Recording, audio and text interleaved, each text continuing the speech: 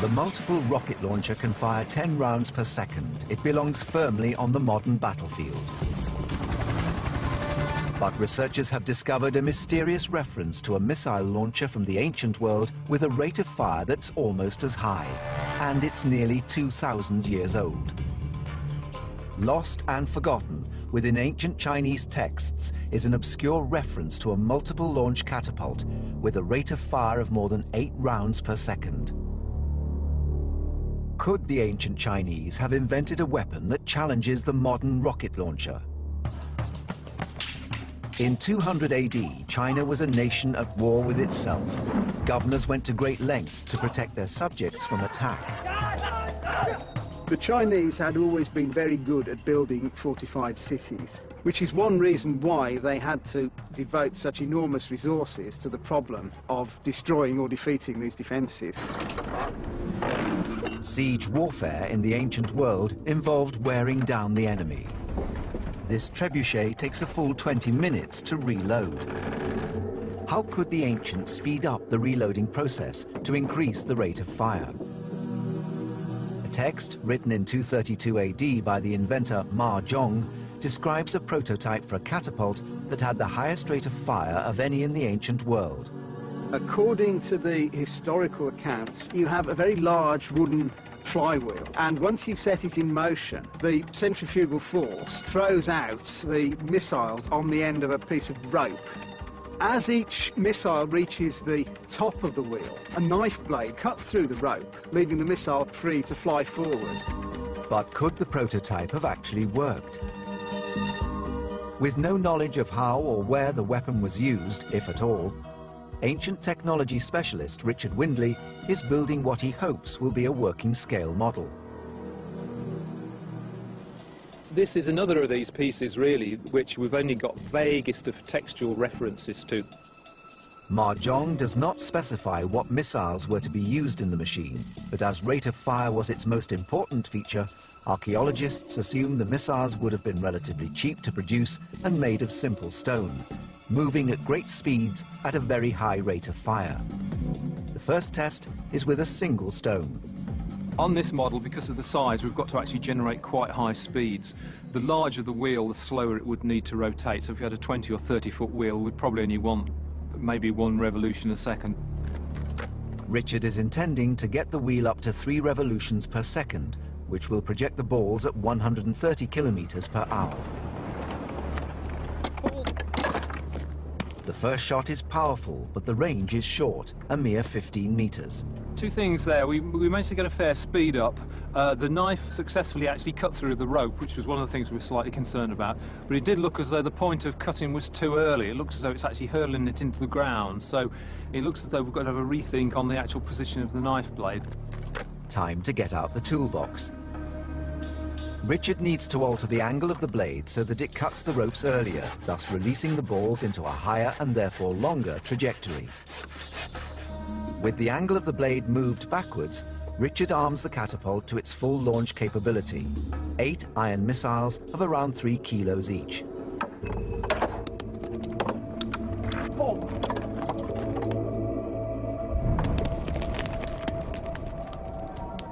We got a lot more range that time, and it seems to be kind of throwing it up in the air slightly more. Eight balls travelling at 130 kilometres an hour deliver 16 kilojoules of energy in terms of the mechanics, it seems like a sound idea. If we scale this thing up to the sort of size that um, Ma Jun was reputed to have used, you know, we're, we're in with a viable possibility of a weapon, I think. The demonstration has shown that the catapult could have been effective if it had been used. The Chinese were very meticulous about keeping records of these sort of inventions, and there are numerous military manuals published from the 11th century onwards, which illustrate an enormous variety of catapults. So the fact that this one does not appear in these later manuals strongly suggests that it was never used. The main problem seems to be that the framework and the base was so heavy that it would be impossible once it was set up to alter the aim of it. Each time you chose a different target, the whole device would have to be moved and reset up, which would be a fairly mammoth task. Occasionally, researchers come across documentary evidence of ancient weapons as good as any modern blueprint. One such has been recovered from ancient Greece.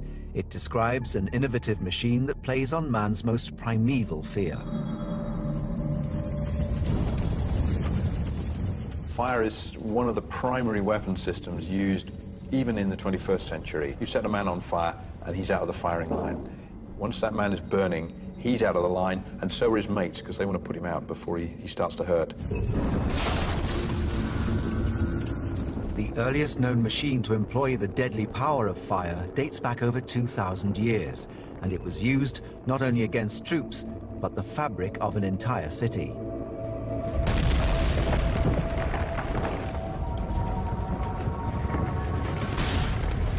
In 424 BC, a tribe known as the Boeotians put this power to great effect. They were laying siege to the town of Delium in central Greece to win it back from the Athenians. The defenders had thrown together a lot of wood and roots and all kinds of material to bind up a, an earthen defense. To the Boeotians, all that wood stacked up within the walls suggested an obvious weapon of attack. They come up with a flamethrower, quite a big flamethrower. How could such a weapons system have been possible, and was it enough to defeat the Athenians? Clues were recorded by the ancient writer Thucydides. Thucydides is an Athenian general and statesman who gets sacked about halfway through the Peloponnesian War. And like most generals who get sacked halfway through a war, he wants to prove that they shouldn't have sacked him. So he sits down to do something unusual. He writes a book. And his book is the first serious political examination of the phenomenon of war, not as something to write legends about, but something that happens to real people. It really is a rich and powerful text that we still read to this day. They sawed in two and hollowed out a great beam, which they then joined together again very exactly, like a flute, and suspended a vessel by chains at the end of the beam. The iron mouth of a bellows, directed downwards into the vessel, was attached to the beam, of which a great part was itself overlaid with iron. This machine was brought up from a distance on carts to various points of the rampart, and when it was near the wall, they applied a large bellows to their own end of the beam and blew through it. The blast passed into the vessel which contained burning coals, sulfur and pitch. These made a huge flame and set the rampart ablaze. Because of the detailed description left by Thucydides, Richard is able to build one of the most accurate reconstructions he has ever made. It's a very, very simple device. Large bellows, big long tube, fire pot on the end. The bellows will blow it a bit like a blacksmith's fire. We could raise the temperature probably two or threefold with a good direction of air into the pot. At first, the flamethrower does not appear to be very effective. But as the oxygen from the nozzle passes over the combustibles, things start to heat up. Eventually, Richard can produce a directional heat source capable of delivering fire right into the walls of a city. Once or twice when we just got the angle correct, I think um, we were getting very, very intense heat. We were getting almost a white heat, which is, which is really quite hot. White flame is only produced by temperatures over a thousand degrees. If we think that this design was something like two and a half thousand years old, um, you know, this was this is quite impressive technology for the time. Wooden walls would have provided little comfort for the defending troops. According to Thucydides, the Boeotians used this weapon to set fire to Delium and chase away the Athenians. Only 200 or so Athenians were killed. The rest were allowed to escape. Using ultra-modern technology, the Boeotians managed to defeat mighty Athens, a true testament to the power of engineering. But despite this, Athens went on to become one of the most powerful cities in the ancient world, and is still the capital of Greece some two and a half thousand years later. From the soaring ambition of the repeating catapult to the ingenious application of a basic resource like fire, military engineering developed over millennia to produce terrifying and powerful technologies. But these innovations were just the beginning. The modern aircraft carrier can't do its job without an essential piece of hardware that is 2,000 years old. In a message fragment from ancient Egypt, a deadly long-range weapon is described that relied only on the power of air.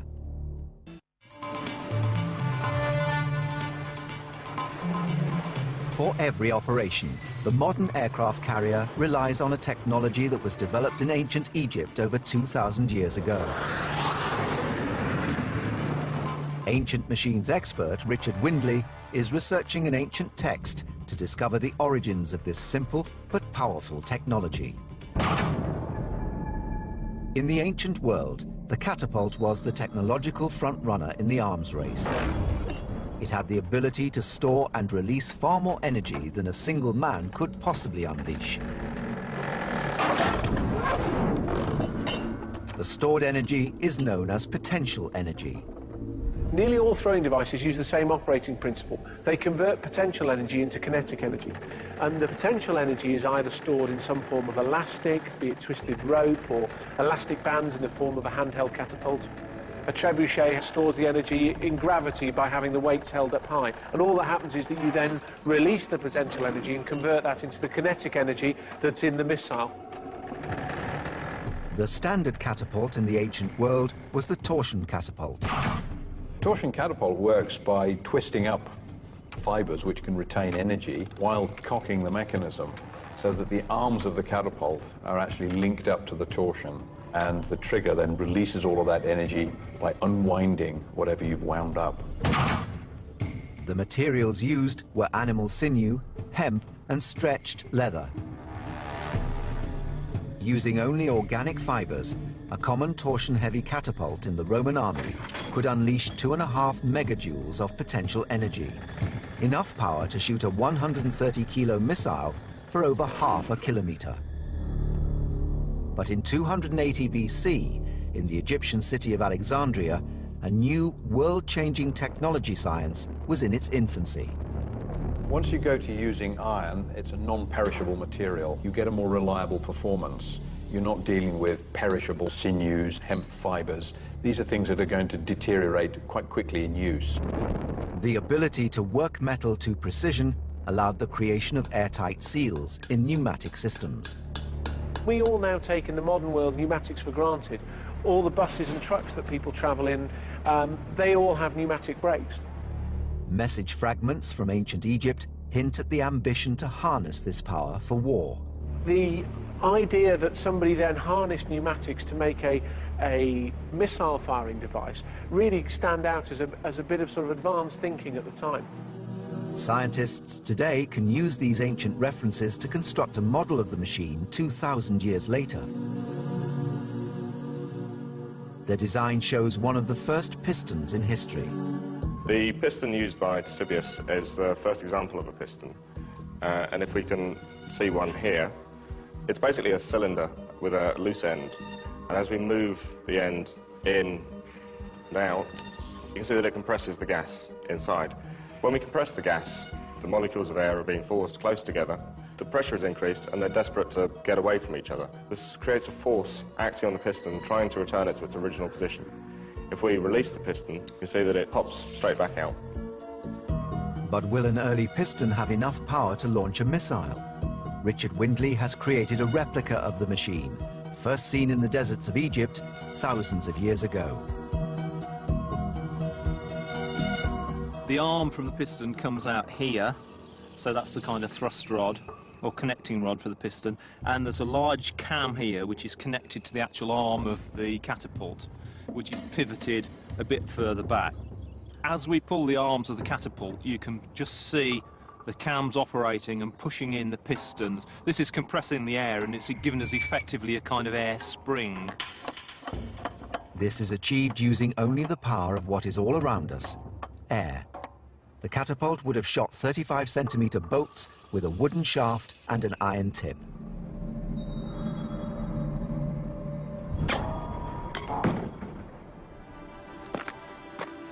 Fantastic, we actually hit the target first time. I was somewhat surprised, in fact, that um, we got the kind of range that we did. We were getting 40 or 50 yards range with this, and the arrows are flying very, very straight. The actual height or trajectory is, is um, a slightly more complex issue, but it would be quite easy to get used to one of these things and probably hit a target of a metre square at um, 60, 70 yards. But if it was such a success, why did piston catapult technology disappear from the history books for so many hundreds of years? Quite why they didn't use it, I think, is probably due to the fact that they had problems getting an air seal, and that is absolutely crucial. And and that kind of um, unreliability in the field would, would make soldiers be very, very wary of it as a weapon. Had they perfected the air seal, the piston catapult would have become the elite catapult of the ancient world, capable of launching projectiles weighing several tons. This is what its successor, the modern piston catapult, does today on an aircraft carrier to launch a fighter plane, well, they use a steam cannon that actually fires the plane off the end of the aircraft carrier, and that really is sort of taking the idea into its final and most modern form. It gives us the capability to accelerate aircraft weighing 55,000 pounds from zero to 165 knots over a 300 foot distance in less than two and a half seconds. The principles explored by Ctesibius save military lives every day. This is the front of the catapult. It's called the battery position. This is where the aircraft gets secured to the shuttle, which is attached to the rest of the catapult. Within the launching engine are power cylinders that run the full length of the catapult. Within the cylinders are pistons that are linked to the shuttle, which are next to the aircraft. When you're ready to fire the catapult, it's a programmed opening of the launch valve, which admits steam into the cylinders, pushes the pistons forward. When it gets to the end of the power stroke, the aircraft is permitted to continue flying.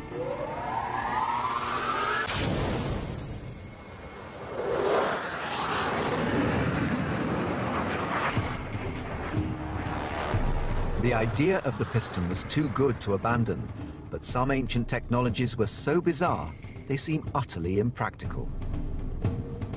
Ancient notebooks reveal a strange sketch of a horse. The horse has long been seen as a powerful weapon. For centuries, nothing evoked as much fear in a soldier as an enemy cavalry charge.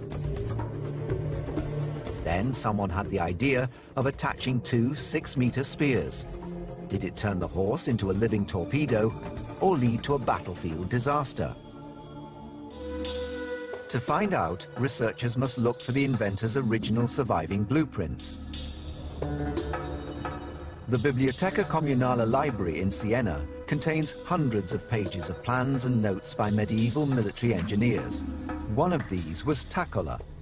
Taccola is clearly very inventive, did these two big manuscripts, really showing what he could do. You can open it up and you can say, ah, that's a picture of a machine in the landscape doing what it does. Mariano Taccola was born in 1382, a time of constant war in Renaissance Italy. Many of Taccola's drawings were genuine inventions designed to be used, such as the breathing apparatus and the keel breaker. However, some of them were simply made to showcase Taccola's imagination. Some of them are like concept cars at motor shows, you know, they're sort of saying, well, you know, this is, it's advertising what you can do. The question facing us now is whether this drawing of a horse torpedo was a genuine blueprint for a weapon or simply another drawing in Taccola's portfolio. When we find information about potential weapon systems and we have no idea whether they were used or not, we have to use our creative intelligence. We have to think, is this practical? Is this sensible? Is the person telling the story credible as a witness? There's only one way to solve the mystery. If all else fails, there's no, nothing wrong with building one and testing it. The starting point of the weapon is the horse. You've got 400 kilograms of horse, plus rider, plus armour. That's half a ton of weight, travelling at 35 miles an hour. You get hit by that, you don't get up again. The horse has been terrifying foot soldiers for as long as mankind has been in the saddle. When the ground shakes and there's that pounding of hooves, it's absolutely terrifying. But will the addition of two six-metre-long spears onto this power driver bring strategic benefit? We've come here to one of the last schools in Europe where they still train battle horses to try Taccola's equine torpedo. Here, horses are trained for stunts in action movies. Henry has been in over 1,000 action stunts. He's used to strange equipment and unusual behaviour. But even he is nervous. Well, We've got the device on exactly how it's shown in the manuscript, but we're already running into problems. This is the most docile and peaceful warhorse you'll ever find, but he's already uncomfortable with having these bars so close to his nose. If he moves his head, he's striking these, these trails. And down here, it's digging into the ground. Now that's great on one hand because it's stopping the horse backing up. We only want this to go forwards. We don't want him to ride back into our own army. But it's putting a barrier in front of his nose. To make this horse go towards the enemy, it's going to take something like a burning brand here. Not something we're going to do. Horses rely on sight to guide them across the battlefield. Taccola's weapon places a bar right across the horse's field of vision. A horse that can't see simply stops charging. It's deeply problematic. The whole thing will, will grind to a halt. The only potential for this device to work is if you're willing to sacrifice a horse. Now, in a time with no antibiotics, any horse injured in battle is going to die from infection. So they've got a supply of horses that they might be willing to throw away. Doing that, strapping this on, and then lighting a fire at the horse's backside, maybe you've got a weapon. It seems the horse is an effective weapon with no need of accessorizing. In the ancient world, nothing was more terrifying than a cavalry charge. It struck fear into the heart of every army. And as time wore on, inventors were forced to seek newer, more advanced means of stopping attacking cavalry. Julius Africanus, a military strategist and historian born in Jerusalem, wrote a treatise advising the Roman emperor on tactics to adopt for his Persian War in 232 AD. He described a macabre device designed to drive horses mad by spraying a deadly poison into their faces. They'd be blinded, their, their noses would be stinging, their skin would be burning, and the riders would lose all control of the horses and thus lose their military efficiency. Africanus writes of a poison that is superior to all other methods of attack, more effective than even arrows. He does not specify the drug used, but past historians have suggested that the most likely source of the poison is the plant known as the euphorbia. However, no practical investigations have ever been carried out to determine whether this is true. Until now. Kew Gardens is world-renowned for plant toxicology. Here, Professor Monique Simmonds believes the active toxic ingredients are in the sap of the plant, in this species known as the latex. If this latex gets into your, your eyes, it is incredibly painful. Latex is the milky sap found in many plants, such as dandelions. Not all forms of latex are poisonous. However, that found in the euphorbia species usually is.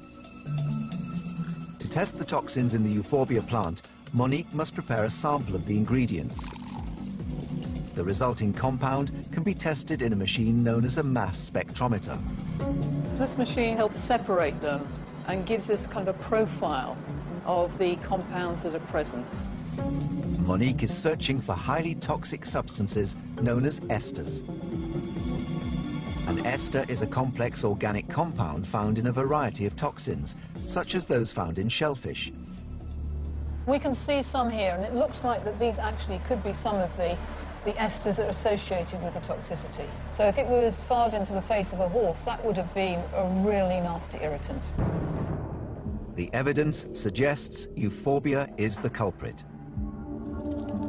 Now Richard Windley is looking into how this horrible agent was delivered to the horses. We think that one of the methods they may have used was to use uh, a device which was probably commonly known, which was a kind of siphon pump. Richard wants to investigate whether the siphon can direct the poison at the horse and, most importantly, away from himself.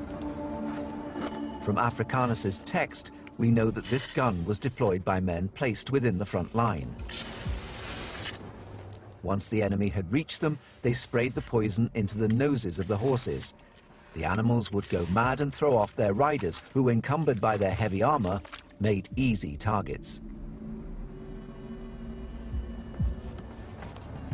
Well, um, that was a really interesting experiment. Um, We know how toxic this sap is from sort of laboratory experiments, and now I think we've proved that we've got a delivery system that will project this stuff at least, what, 20 to 30 feet. The difficult thing is, and it's always the case with, with, with poison weapons, if there's a sudden change in wind direction, you can cause absolute mayhem amongst your own side.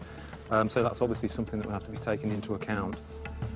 In the right hands and with favourable winds, the horse poisoning gun could have sprayed its deadly contents into the ranks of ancient cavalrymen. But our ancient forebears' understanding of chemistry could produce even more stunning results. Over 2,000 years ago, the Carthaginian general Hannibal led an army of men, horses and elephants across the highest mountain range in the known world, sometimes by going over them, and sometimes, where the cliffs were impassable, by using a secret formula to go through them. That's got to be one of the most successful experiments I've ever done for ancient discoveries.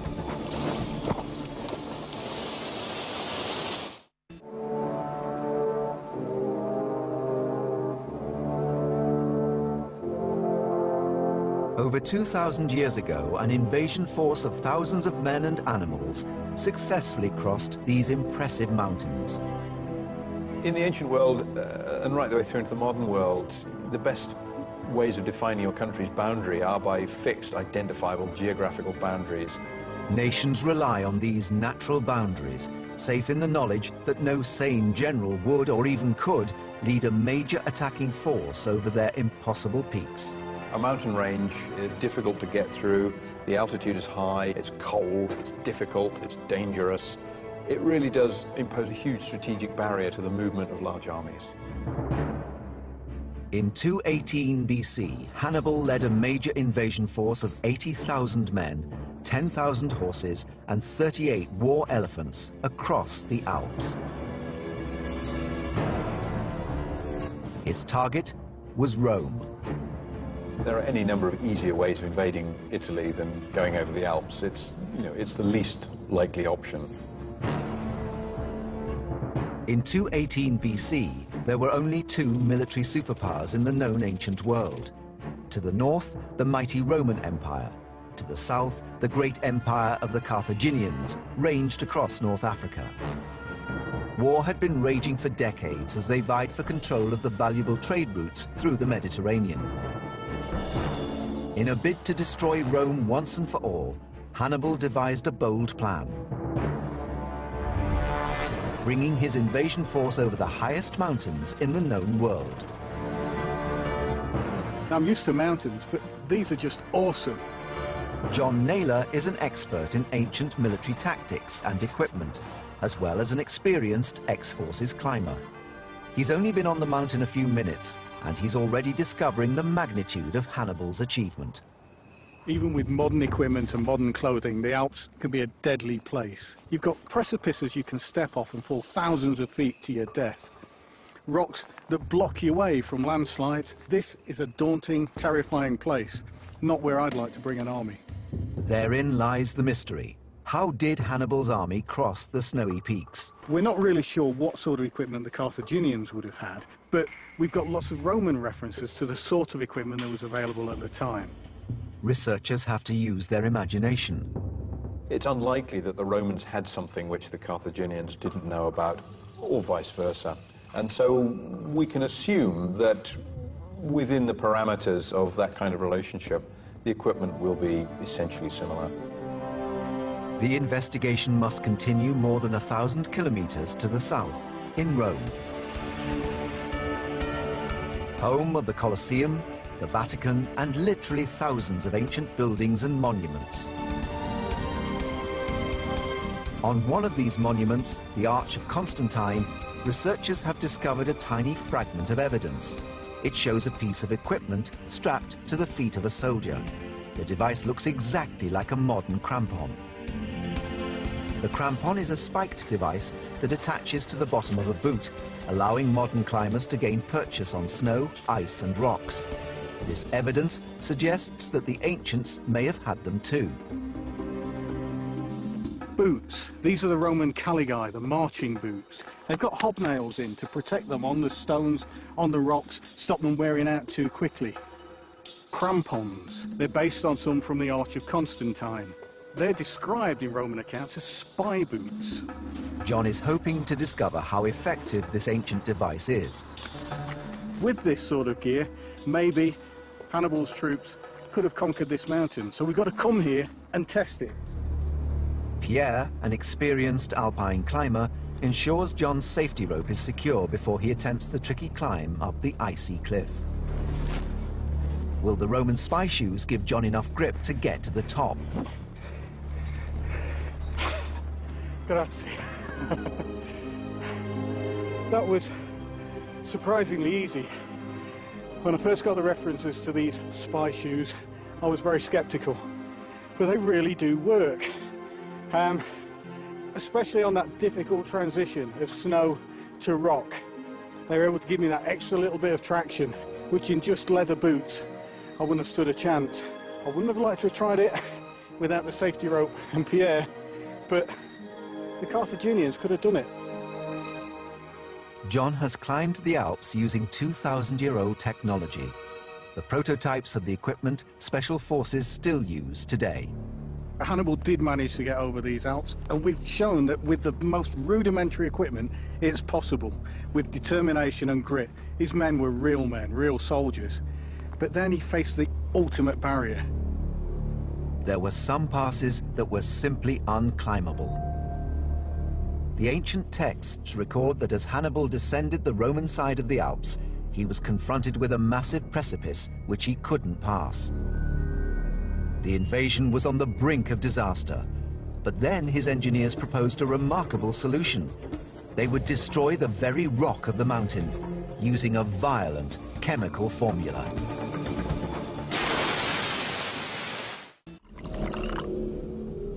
The high-tech chemical labs of the 21st century produce compounds so complicated it would take this entire hour to list the ingredients of just one of them. But there is evidence from the Roman writer Livy that ancient armies had a much better understanding of the power of chemistry than we might expect, and they applied this on a huge scale, for example, on whole mountainsides. In 232 BC, the Carthaginian general Hannibal successfully led an invasion force over these huge mountains using equipment still used by climbers today. But then he got stuck. Hannibal finds that his way down off the mountain is obstructed by a huge block of stone. How can he get through this? He can't go around it and he can't go back. His army's going to starve to death. Modern historians believe the blocked route to have been either the Clapier Pass or the Traversette Pass, both standing at around 2,400 meters.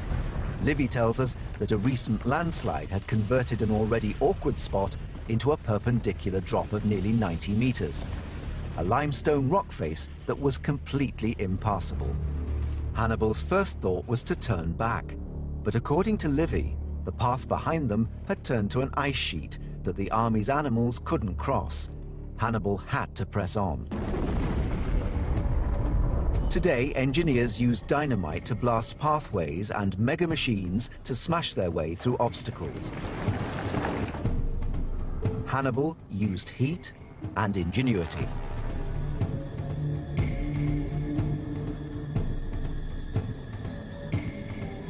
Now, rock's hard.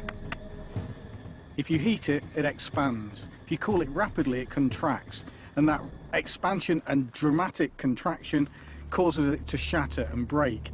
In this state, I can't do anything with it. But if I heat it and cool it rapidly, it becomes what we call friable. It's softer, crumbly, easier to break through. Now the way to test it is we're going to heat up a small sample first using a blowtorch and then rapidly cool it using water. After 15 minutes, the limestone is red hot. I've got a high temperature thermometer here, digital thermometer, to see just what temperature the rock's up to. At 479 degrees, the addition of cold water will drop the rock temperature by 3,000% in just seconds. It's fizzing and boiling. Oh, amazing. That water's dried off in front of my eyes. Now let's see what effect it's had on the structure of the rock. To the naked eye, it doesn't look any different to before we started. But what's it really like? Let's see. Oh, amazing. It's soft, it's like chalk. I guess this is what they mean when they say the rock becomes friable. But Livy is very specific. He clearly states that Hannibal called for vinegar, not water. Uh, vinegar, salad dressing, um, doesn't sound very dangerous, does it? Uh, you get the impression, though, that Livy is as reliable as he can be, so I suspect there's more than a grain of truth in it. Perhaps the ancients understood the secrets of chemical reactions better than modern scientists give them credit for. There's a possible reason why you used vinegar instead of water. Limestone's alkali, vinegar's acid. That means it's chemistry as well as physics. 3D analyst James Dean has been researching Livy's claim at a molecular level. If we zoom in, we can see that the key components in the reaction here are an acid and a base. In this example, the base is the rock, which is limestone, calcium carbonate, and the acid is the vinegar or acetic acid. This falls into a common class of reaction known as an acid-base reaction. If we can push the two together to start the reaction off, we can see that straight away the acid has released hydrogen ions, which are combining with the oxygen and hydrogen from the base to form H2O, or water. Uh, the remaining components combine together to form a salt, which we can see here. The whole reaction is exothermic and it's giving off a lot of heat. So we can see that if we look back at the wider scale, the heat is heating the water and it's producing steam, which we can see coming off it. There's other gases produced if you've got carbon involved, which will give us carbon dioxide. That will give us the effervescence and bubbling. And overall, the entire structure of the rock has been destroyed. The salt and water now permeate it, and if we touch it, it's completely friable. For Hannibal, this was no chemistry experiment. It was a matter of life and death. Hannibal was facing the ultimate impasse. Just like now, night's falling, the temperature's dropping, his army is about to freeze to death and die with no way down to those fertile plains below. He's got to get away through the rock. We're going to attempt it now. Big fire on here, heat the rock up with this fire, and then we'll try the vinegar and see whether we can make this rock friable enough to bash our way through and get down onto the plains. I've got the fire started. Now I need bigger sticks, logs, get this into a big raging inferno. Not only was this a huge 90 meter expanse of rock, but a very dangerous precipice as well. The fire would have been enormous, the progress painstaking, as Hannibal's men slowly worked their way down the rock face, creating a path for the animals. The temperature of the rock is now 1200 degrees, but is this high enough to accelerate the acid-base reaction? That is really hot. It's taking all the fur off my face. But I need to be able to get close enough to get the vinegar on. The size of the obstacle would probably have needed 75,000 litres of vinegar. But where would this vast amount come from? Hannibal's troops would each have had a daily sour wine ration of around quarter of a litre. The huge army would still have had almost 80,000 litres of wine vinegar with them. Oh boy, look at that boiling up there. It smells disgusting. I can see the rock cracking in front of my eyes. It's boiling and steaming in here. The acid of the vinegar is burning in the back of my throat.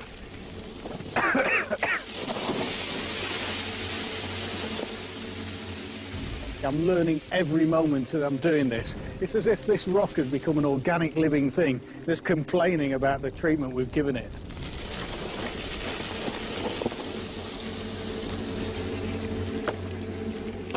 Oh, I love the way that breaks. It's not a boulder anymore, is it? It's just a loose conglomeration of pebbles. Like John, Hannibal's men used picks to smash through the limestone, enabling them to open up a zigzag track that minimized the gradient, thus allowing the pack animals and elephants to descend. After four days of hard work and near starvation, Hannibal had blasted his way through the Alps. That's got to be one of the most successful experiments I've ever done for ancient discoveries. Mountains you think of as the immovable object. Hannibal did it with some sticks, some salad dressing, some hard work and ingenuity. Absolutely staggering. Hannibal ploughed down through Italy towards Rome and inflicted the severest losses the Roman army ever suffered in its entire history. But although coming over the Alps gave him the element of surprise, it ultimately led to the Carthaginians' downfall. It's ironic that Hannibal used the best technology available to him to, to do this insurmountable task of getting an army over these mountains. But in that, he didn't have the capability to bring his heavy equipment with him. When it came to taking the towns through fortifications without siege machines, which he couldn't bring over these mountains, he was on a hopeless task. Technology allowed him to get there, but then the door was slammed in his face. Machines such as the carbon flamethrower, the catapults and other siege engines were too important to have been left behind, and Hannibal's campaign failed. He doesn't attack cities, he doesn't capture places. Rome is there and he doesn't attack it. Whether learning from failure or through spectacular successes, the engineers of the ancient world were no different from those of today. Ancient engineers faced exactly the same problems as we face today. You're wanting to go faster and carry more, but use less natural resources in terms of making it, and then want it to perform for a long time once it's constructed. Some inventions turned the tide of great battles and shaped history. Others pushed the envelope of invention too far, and whilst they continue to amaze, were ineffective in battle. As the mysteries of ancient engineering continue to be revealed, the modern world asks how much of what we take for granted derives from the ingenuity of the ancients and their impossible army machines.